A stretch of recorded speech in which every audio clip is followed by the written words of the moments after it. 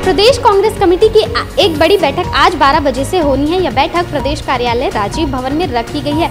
इस बैठक में सभी बड़े नेता और पदाधिकारी शामिल होंगे। ये बैठक कांग्रेस के राष्ट्रीय अध्यक्ष राहुल गांधी के प्रदेश दौरे के लिए है। राहुल गांधी 22 अक्टूबर को एक दिवसीय दौरे पर हैं प्रदेश में। इस दौरान वे सुबह ही 22 अक्टूबर की सुबह ही प्रदेश आएँगे और रोड सभा, सभाएँ करेंगे। साथ ही साथ वे यहाँ पर किसान महासम्मेलन को संबोधित करेंगे।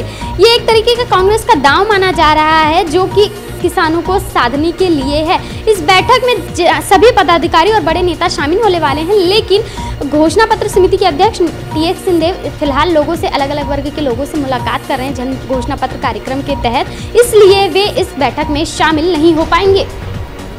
लगातार अपडेट्स के लिए बने रहें ग्लिप्स के साथ।